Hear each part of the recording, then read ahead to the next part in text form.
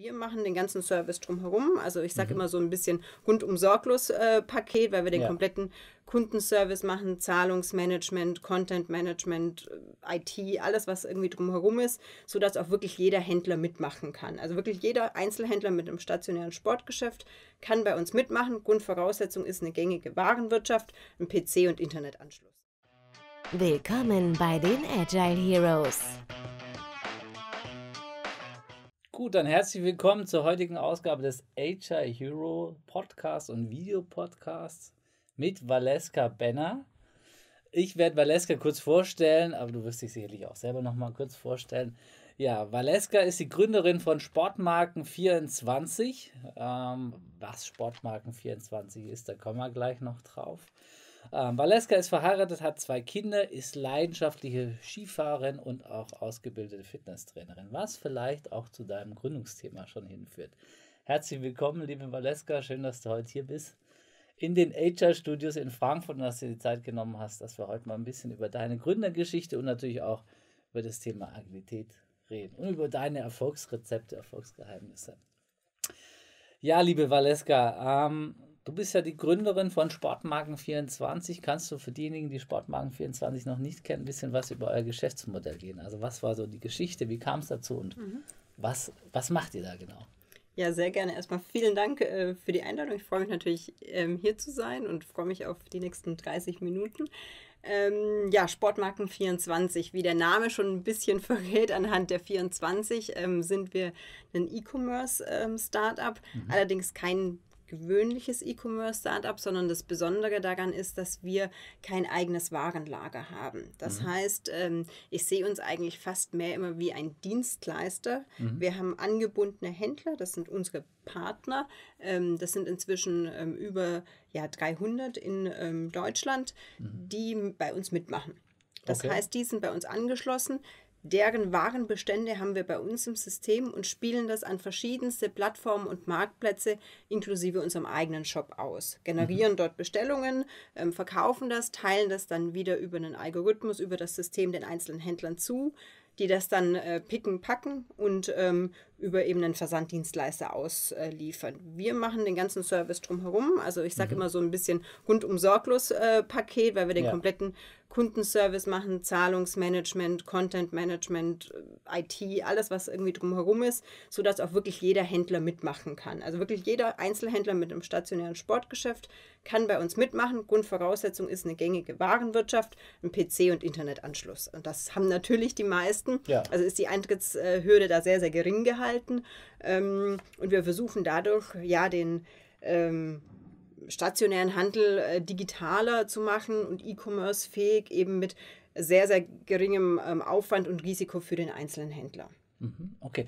Und wie, wie kam es zu dieser Geschäftsidee? Also wie lange mhm. gibt es euch schon? Wie kam es zu der Idee? Ja, ja. Mm, also es, äh, Sportmarken 24 gibt es jetzt ungefähr seit gut zwei Jahren. Ja. Ähm, und äh, das Geschäftsmodell ähm, gibt es auch schon äh, von Schuhe 24. Ähm, das, ähm, die sind jetzt schon sechs, sieben Jahre am Markt, also nochmal ein ganzes Stück ähm, länger und machen das gleiche, wie der Name verrät, ähm, für, für Schuhhändler. Damit hat mhm. das Ganze gestartet.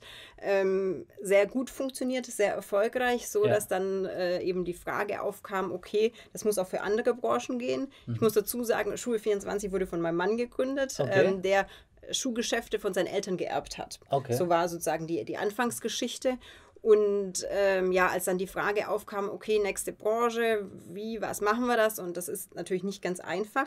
Ich war damals noch Unternehmensberaterin, habe das zehn Jahre lang gemacht und habe dann gesagt, okay, das ist jetzt eine einmalige Gelegenheit. Ähm, so eine kommt nicht so oft, dass man ja. sagt, man hat da ein Geschäftsmodell, von dem man überzeugt ist und, und so eine Chance, und eine neue Branche aufzubauen. Genau, weil man auch wusste, da ist Proof of Concept in einer anderen Branche mhm. zwar, hat aber schon funktioniert. Also man glaubt an das Modell und muss es jetzt adaptieren natürlich und es gibt nie eine Garantie, dass was funktioniert, aber die Wahrscheinlichkeit ist sehr hoch. Also man hat da wirklich ähm, gute Startchancen äh, und ähm, ja, diese Chance habe ich dann auch ergriffen, habe tatsächlich dann meinen Unternehmensberaterjob äh, gekündigt, äh, das war eben vor gut zwei Jahren mhm. und äh, dann Sportmarken 24 äh, gegründet, gemeinsam mit auch einem Sporthändler.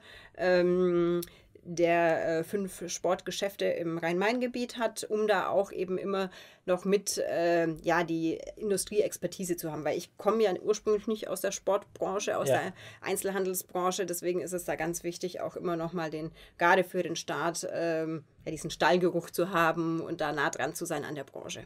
Okay. Und wie kommt ihr an eure Händler, an eure Kunden dran? Kommen die selber auf euch mhm. zu? Also wahrscheinlich, wir sind jetzt ja jetzt so wie hier drehen, äh, gerade schon fast post-Corona, aber ja. ich denke, viele Einzelhändler werden noch stärkere Umsatzeinbrüche gehabt haben, wahrscheinlich schon viele davor. Also du kennst die Branche wahrscheinlich auch über deinen Mann dann am besten. Also wie kommt man an die Partner und ähm, sind die offen für das Thema sozusagen? Ja, also sowohl als auch, es gibt natürlich sehr viele Sporthändler ja. und auch da logischerweise äh, gibt es solche und solche wie, wie überall. Und mhm. ähm, ja, man muss sagen, klar, ich glaube, entscheidend war es sozusagen, die ersten Händler mal zu bekommen, den Aufbau zu machen. Mhm. Ähm, und dann war ganz, ganz viel, das beste Instrument nach wie vor ist Mund-zu-Mund-Propaganda. Also mhm. wenn wir einen guten Job mit unseren jetzigen Händlern, mit unseren Partnern machen, mit denen gut zusammenarbeiten, die zufrieden sind, dann sagen die das weiter ihren Kollegen. Mhm. Und die kommen dann auch auf uns zu und ähm, wollen sozusagen bei uns mitmachen, worüber uns wir natürlich immer freuen. Das ist mir immer das Liebste, wenn wir empfohlen werden. Ja, das ja. ist dann auch wirklich immer gleich der einfachste und beste Einstieg.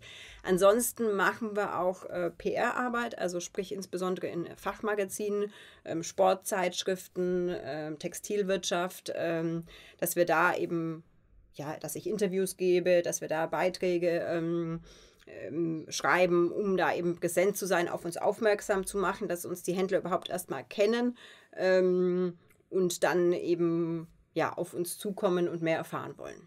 Okay, interessant. Ähm, und, und meine Frage ist jetzt, ähm, eure Partner sind ja der Einzelhandel, ihr seid ja Vertriebskanal mhm. für den Einzelhandel. Wie siehst du denn die weitere Entwicklung des Einzelhandels? Also ihr seid der Vertriebskanal, ihr helft vielen.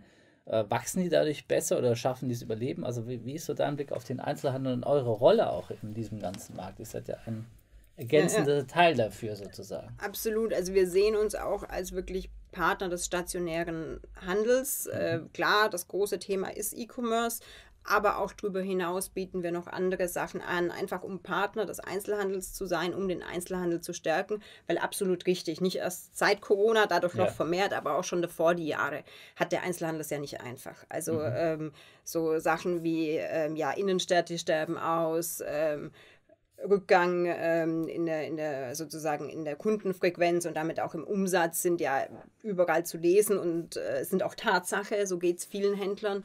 Und ähm, die Möglichkeit eben neben dem stationären Geschäft, was immer der Fokus des Einzelhändlers bleiben soll, darauf soll er sich fokussieren, da einen guten Job machen, aber eben noch ein zweiter Standbein ergänzend im Online zu haben, ohne großen Aufwand, ohne großes Risiko und damit auch wegbrechende Umsätze gegebenenfalls im stationären Geschäft auffangen zu können. Das sehe ich eigentlich als unsere sozusagen Rolle und Aufgabe, ähm, und darüber hinaus halt einfach auch ein Partner zu sein für den Einzelhandel und ihn zu stärken und ihm bei Themen zu helfen, weil sich jeder ja nicht um alles kümmern kann. Mhm. Okay.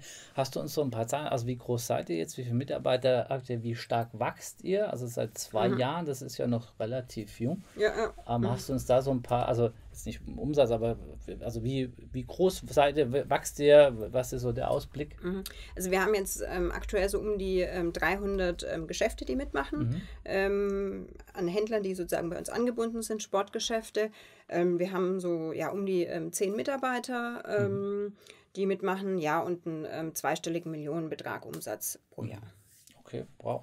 Ist ja schon beträchtlich innerhalb von zwei Jahren. Ja, Absolut. Also ich muss auch sagen, das ist, wir sind da gut gewachsen, sind ja. auch sehr äh, zufrieden.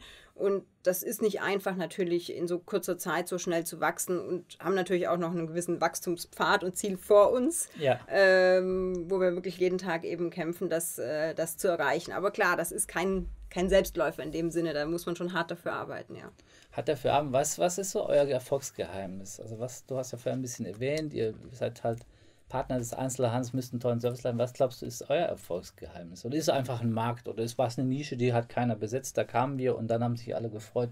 Was ist so das Erfolgsgeheimnis? Das glaube ich, ist eine Kombination aus allem. Klar mhm. brauche ich irgendwo einen Markt. Es hilft nichts, wenn ich so toll bin und ein super Produkt habe, aber es keinen Markt dafür gibt. Ja. Also ich glaube, Markt muss gegeben sein. Das ja. war äh, gegeben und ist nach wie vor oder jetzt sogar noch stärker als äh, vor zwei Jahren äh, gegeben durch die aktuellen Geschehnisse mit Corona und so weiter. Ähm, also das ist Grund 1 Voraussetzung. Aber nur der Markt allein reicht halt nicht aus. Also ich glaube, man muss eben auch und da kommen wir ein bisschen zu eurem Thema, agil sein ja. und äh, pragmatisch sein. Und ähm, so verstehen wir uns auch und so agieren wir auch. Also wirklich als, als Partner des, des Händlers. Ich äh, kenne auch alle Händler. Ähm, ja, und, und telefoniere regelmäßig mit denen und bin da sehr nah dran. Und wenn es irgendwo Probleme gibt oder irgendwo wir sehen, Prozesse äh, laufen nicht so oder wir sind jetzt sozusagen aus was rausgewachsen, dann müssen wir einen Prozess optimieren, anders aufstellen, dann machen wir das immer sehr zügig und pragmatisch und versuchen auch damit sozusagen sehr schnell dann rauszugehen und nicht ewig zu tüfteln, den 100% perfekt zu machen, weil dann passiert das nie oder in fünf Jahren ja. und das hilft uns nicht, sondern wir ja. brauchen halt jetzt eine Lösung. Und ich glaube, das ähm, haben wir natürlich auch einen Vorteil als Startup, weil wir nicht diese festen Strukturen haben, diese Genehmigungsprozesse, was es alles in Großkonzernen gibt, sondern wir können einfach machen. Mhm. Und äh, ich glaube, das ist sehr vorteilhaft, gerade im E-Commerce-Geschäft, weil er Geschwindigkeit zählt. Das heißt, wenn man irgendwo eine Marktlücke oder ein Problem oder irgendwas sieht, dann muss man schnell sein. Mhm. Klar muss man dann auch eine gute Lösung finden, aber fast noch entscheidender ist eben wirklich schnell zu sein und dann kann man das im Laufe äh, optimieren und, und kontinuierlich verbessern. Okay. Und das hast du ja auch in deiner Karriere als Berater gelernt, schnell zu optimieren. Das war ja auch Teil des Jobs. Mich interessiert, weil ich ja auch einen ähnlichen Weg gegangen bin jahrelang beraten, da sagt mir anderen, wie sie es gut machen können, da ist man selber in der Verantwortung. Was sind so deine Key Learnings aus zwei Jahren Gründerin, selbst in der Verantwortung zu sein? Weil ich habe das auch immer so gesagt, wenn man viele Jahre anderen erzählt, wie sie es richtig machen, ist das das eine. Wenn man dann einerseits natürlich die Chance hat, es selber richtig zu machen, aber natürlich auch in einer anderen Verantwortung ist. Hast du da so Key Learnings aus den ersten zwei Jahren Gründung oder so Tipps, die du mitgeben könntest? Ja, also Learnings auf jeden Fall. Einiges ist schon, ich sage immer, eine andere Welt eigentlich. Also mhm. Also ich sage immer manchmal so spaßeshalber in meinem früheren Leben, ja, ja. Wenn, ich, wenn ich von meiner Beraterzeit äh, rede an die ich übrigens noch sehr gerne zurückdenke. Also ich habe den Job gerne gemacht, auch bis zuletzt und ähm, finde es auch einen, einen, tollen Job, da einen Einblick in viele Unternehmen zu gewähren, denen zu helfen und ähm, da eben auch Prozesse zu, zu optimieren. Ähm, aber auch natürlich die sozusagen Gründung, das Unternehmertum ist auch eine, eine tolle Welt, ähm, mhm. aber was ganz anderes. Also wirklich in jeder Hinsicht. Ähm, gerade am Anfang natürlich ist es, ist es nicht so schillernd und glamourös, wie das vielleicht von außen aussieht oder wie sich das manche vorstellt und wie es die Beraterwelt zum Teil auch ist, ja. ja. Sondern das ist wirklich hands-on Arbeit. Also am Anfang ich war Mitarbeiter Nummer eins, ja. Und ja. einziger Mitarbeiter ohne IT, ohne Finance, ohne sonst was. Das heißt, ja. man macht alles, ja. Alles in einem, ja. Genau. Und ähm, das kann natürlich schon auch mal anstrengend sein. Und da gehören auch Aufgaben dazu, die man vielleicht nicht so gern macht oder die man bisher nicht gemacht hat. Aber es hilft nichts, es muss gemacht werden. Man muss sich wirklich um alles kümmern und, und da reinarbeiten. Äh, deswegen ist das schon natürlich was ganz anderes. Und ähm, ja, was für mich jetzt auch ähm, nochmal wichtig ist, bei manchen Entscheidungen sehe ich erst mit einem gewissen Versatz, also doch für mich als Beraterin relativ langer zeitlicher Versatz, ähm, ob die Entscheidung gut war oder nicht. Mhm. Ähm, das heißt, wenn ich jetzt eine Entscheidung treffe, in irgendeinen Kanal oder Markt zu investieren oder irgendwas zu machen, dann sehe ich ja nicht sofort, war das gut oder nicht, sondern ja. ich brauche ein paar Monate mindestens, wenn nicht sogar bis zu einem Jahr, um da wirklich ein Fazit schon mal ein erstes Fazit ziehen zu können. Und ähm, das ist schon eine, eine neue Erfahrung und ähm, zeigt aber auch, man braucht da eigentlich einen, einen, langen Atem, Durchhaltewillen und muss kämpfen, ja. Okay, verstehe. Nach welchen Kriterien wählst du Mitarbeiter aus für dich? Hm. Also in der Beratung hat man vielleicht andere Ansprüche oder das wäre vielleicht ja. auch eine Frage. Also wie wählst du jetzt Mitarbeiter aus für dich und dein Unternehmen? Was sind ja dann deine und du weißt, die, mit denen arbeite ich jeden Tag und bei zehn Mitarbeitern sieht man die auch jeden Tag Absolut, und du ja, weißt, ja. wenn die gut sind, verdiene ich Geld, wenn nicht, dann zahle ich wahrscheinlich wofür und krieg keinen Mehrwert oder das bringt ja, nichts.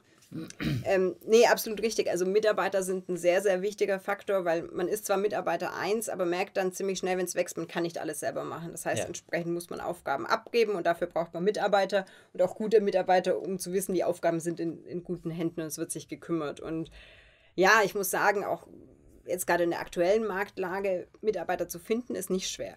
Gute Mitarbeiter zu finden, ist sehr schwer. Ja. Also das ist wirklich, ähm, merkt man schon. Und vor allen Dingen muss man dazu sagen, auch jetzt gerade nochmal im Vergleich zur Beratung, wir zahlen natürlich andere Gehälter und es ist ein anderes Umfeld und Klar. sprechen dann natürlich auch ganz andere Leute an und das muss man natürlich auch immer in Relation irgendwie setzen. Und für mich ist einfach entscheidend immer, dass die, also ich sage immer, Startup hat Vor- und Nachteile und jeder muss für sich wissen, ist es das Richtige für mich. Das ist nicht per se gut oder schlecht, sondern es ist einfach ja eine gewisse Art und Weise, wie, wie man arbeitet, wie die Sachen laufen und entweder man mag das und passt da rein oder eben nicht. Und ich versuche immer Leute zu finden, die sich damit identifizieren können. Also sprich, mhm. ich mag Mitarbeiter, ich will, dass mein Team sich mit dem Unternehmen identifiziert, sich als Teil davon fühlt und auch entsprechend agiert. Ähm, als wäre es das eigene und ähm, sich da auch einbringt, ähm, Themen vorantreibt, ähm, wenn irgendwo Fehler auffallen, versucht die, äh, den Prozess zu optimieren, die sozusagen äh, Wurzel des Fehlers zu finden und äh, da wirklich sich auch verantwortlich fühlt. Ich glaube, das ist, egal jetzt in welchen Rollen und Aufgaben, gibt es ja die unterschiedlichsten, ist für mich eigentlich so mit der wichtigste Faktor, dass ich weiß, jemand fühlt sich verantwortlich und kümmert sich und macht nicht nur seinen Job 9 to 5, kriegt dafür Geld und fertig, sondern er fühlt sich wirklich verantwortlich und als Teil des Ganzen. Mhm. Okay, verstehe ich. Wenn du mal weiter denkst, euch gibt es jetzt seit zwei Jahren, wahrscheinlich ist der der Gedanke, dass das Unternehmen noch lange besteht, wo siehst du denn euch so in fünf Jahren?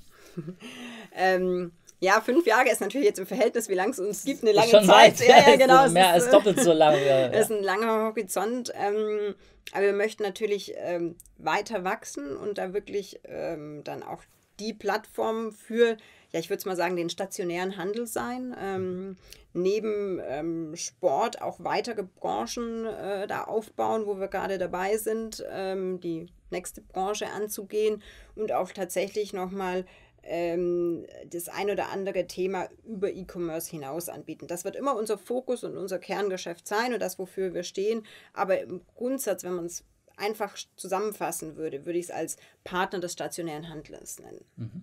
Also als der Partner des stationären genau. Handels. Okay. Das ist doch ein, ein hehres Ziel. Habt ihr Wettbewerber? Gibt es andere, die nachziehen oder wart ihr die Ersten sozusagen? Oder?